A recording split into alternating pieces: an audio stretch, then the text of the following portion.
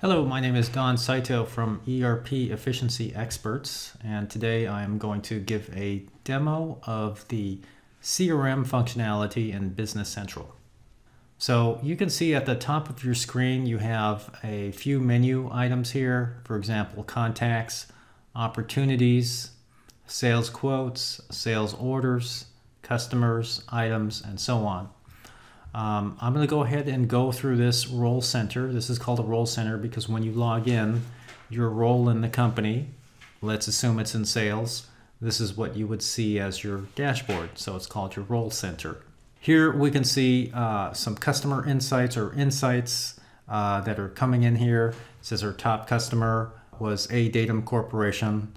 And if I click this little button here, I can see some other messages that just says good evening.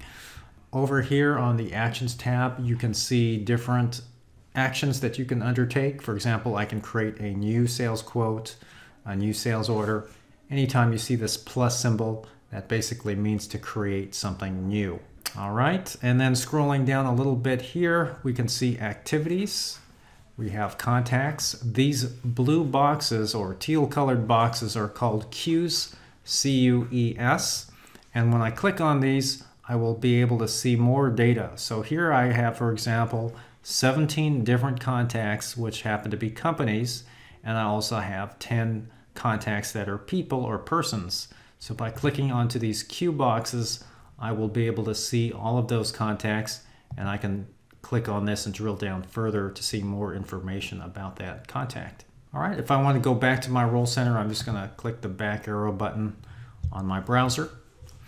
And let's take a look here. We have opportunities. So here we have some open opportunities.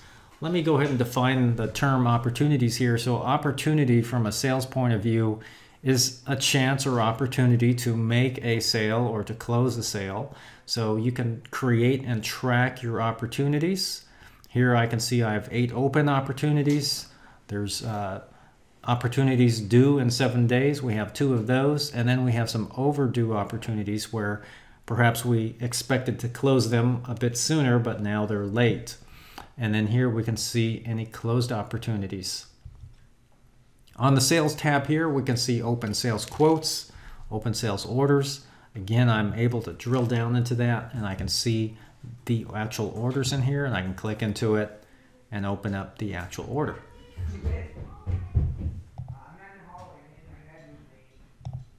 All right, down here you have user tasks. So here you can assign yourself a task uh, so you don't forget. It will always show up here. I don't have any tasks right now, so I'm all good to go.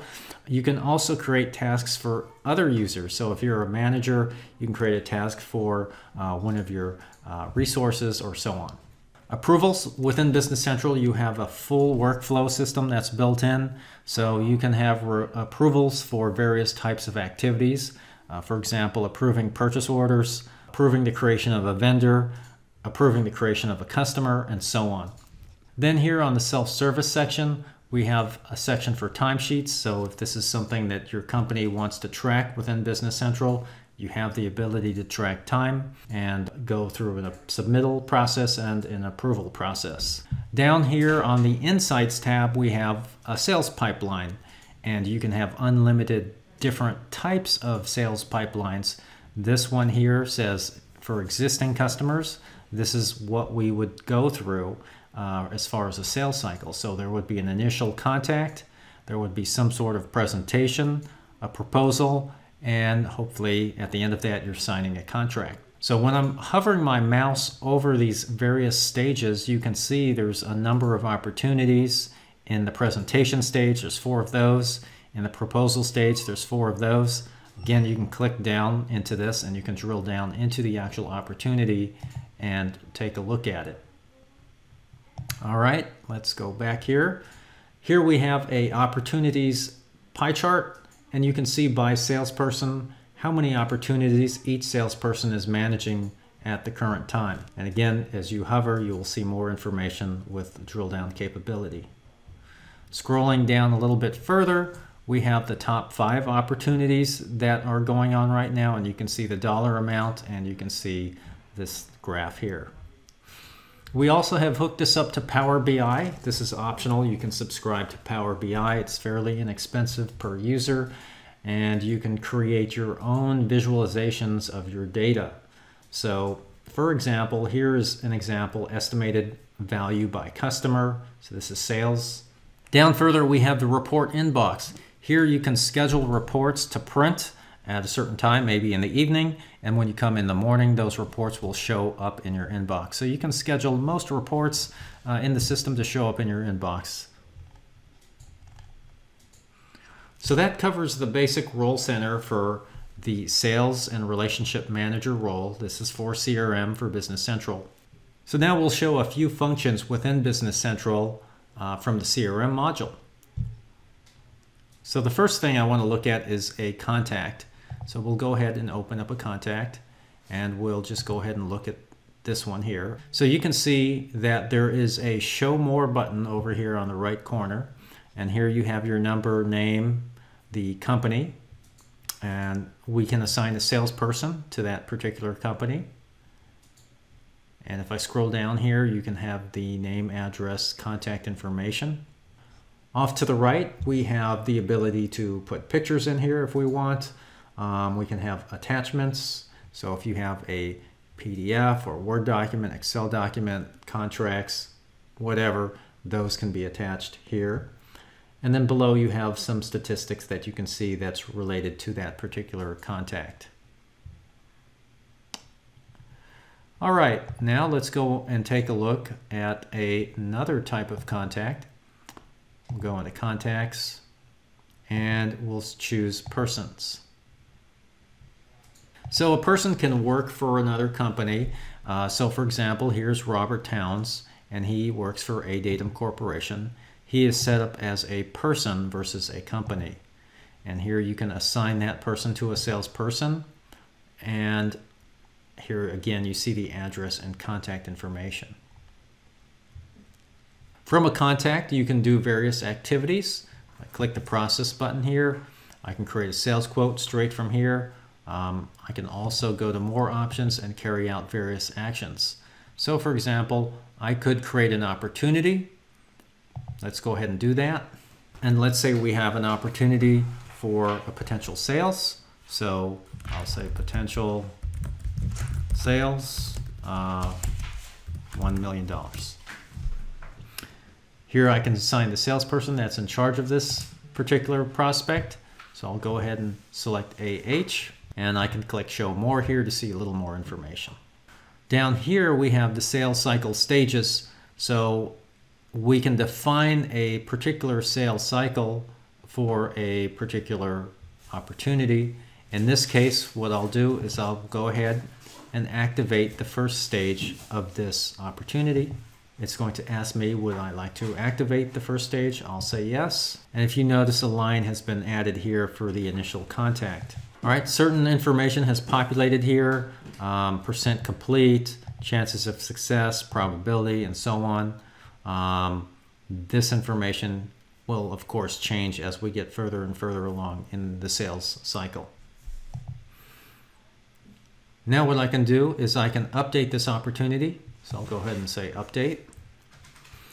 The next action comes up here is I'm going to go to the next stage, which is qualifying prospect. And here I can put in the date, uh, the estimated sales value, let's say it's 1 million. Make sure I have the right number of zeros there. Chances of success, let's say 20%, that's fine. Estimated closing date, I'll pick some date in the future. And I will click OK. When I do that, I can see that we have the next stage, which is the qualification stage. We have an estimated value and so on. Okay, as we go through uh, contacting our prospect, uh, as we move through the sales cycle, we'll be able to do another update here. And the next stage is a presentation. So we're going to do a presentation. Let's say that will be April 20th. And the sales value is still 1 million. Uh, perhaps our chances of success have gone up a little bit. And our estimated closing date, we'll just say that's the 29th of May. So now that we have qualified the prospect, let's go ahead and create a sales quote and send it to this prospect. So I will click the create sales quote button here. And it has filled in the customer name uh, for us. I can put in a requested delivery date if I wish.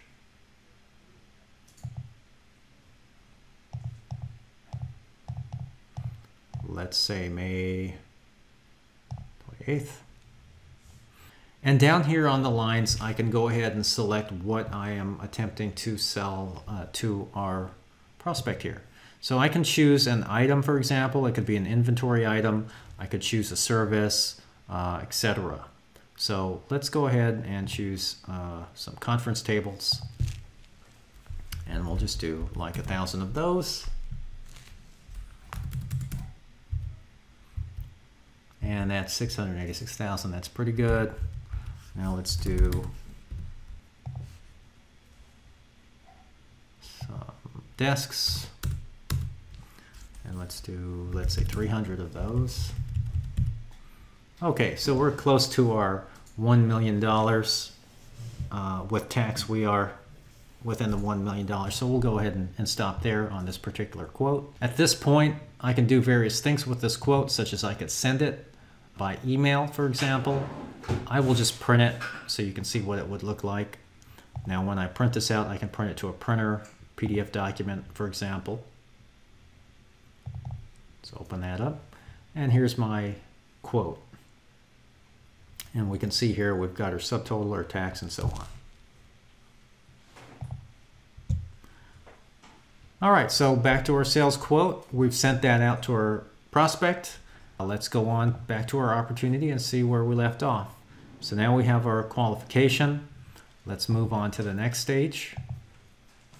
By the way, these menu items, if you notice when you click onto a different tab here, or you click off the tab, it disappears. You can keep that on your screen by clicking this pin here. And now if I click on to the screen, um, this menu selection will stay here. All right, let's go ahead and update our opportunity. The next stage is a presentation. And let's do that. Uh, sure, let's pick a day here. All right, so if you notice our estimated sales value has now changed because it is based on the sales quote that we just created. Our chances of success, let's go ahead and just bump that up a little bit. These are kind of arbitrary. We're just guesstimating what our chances are at this point. And let's go ahead and choose our closing date and assume it's still the 29th of May. So we've done our presentation.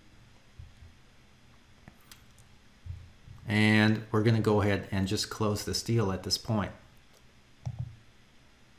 All right, so at this point, we have won the deal. Now we're going to indicate a reason why we closed the deal. Was it knowledge of customer business? Was it a competent consultant? Let's go ahead and say knowledge of customer business. And our closing date. I'll just pick a date here. And there's our sales dollar amount. And if there were any old tasks that were related to this opportunity, those could be canceled. I don't have any outstanding, so I'm just going to click OK. All right, so this deal has been won.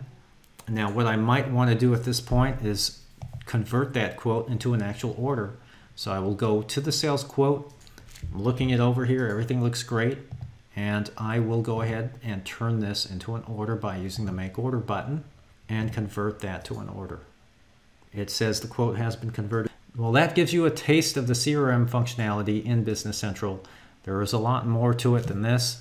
This gives you an idea of how to create an opportunity, uh, track that opportunity, turn it into a quote, close the deal, and turn it eventually into a sales order. Thank you very much for your time.